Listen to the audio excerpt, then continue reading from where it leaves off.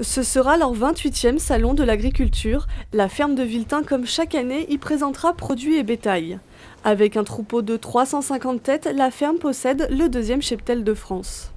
Cette année, normalement, on devrait avoir deux ou trois petits veaux, notamment euh, un de cette couleur-là et un de cette couleur-là. Donc on a euh, un petit veau qui a une couleur marron. C'est la même race, c'est de la Primolstein.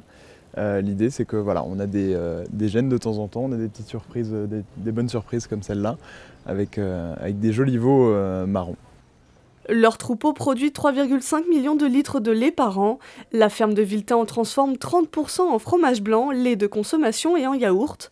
En octobre dernier, l'entreprise familiale se dote d'une nouvelle laiterie. Elle souhaite atteindre le million de yaourts par an.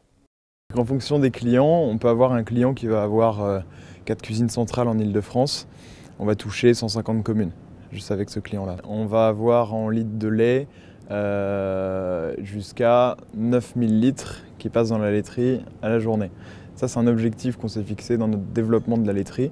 Donc, il n'est pas encore atteint, évidemment, mais euh, euh, ça peut être un pic qui est atteint en fonction des jours. Ces produits vendus au marché de la ferme seront présentés à la porte de Versailles. Le salon de l'agriculture est un moyen pour eux de se faire connaître du particulier comme du professionnel. Pour nous, c'est une, une grande force euh, on va avoir une visibilité qui est euh, très grande. On accueille des milliers de, spectateurs sur notre, euh, sur notre, stand, soit par la vente de produits locaux, donc nos produits, soit par des petits jeux qui sont sur place.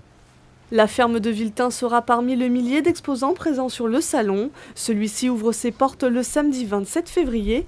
Les veaux vous attendent jusqu'au dimanche 6 mars.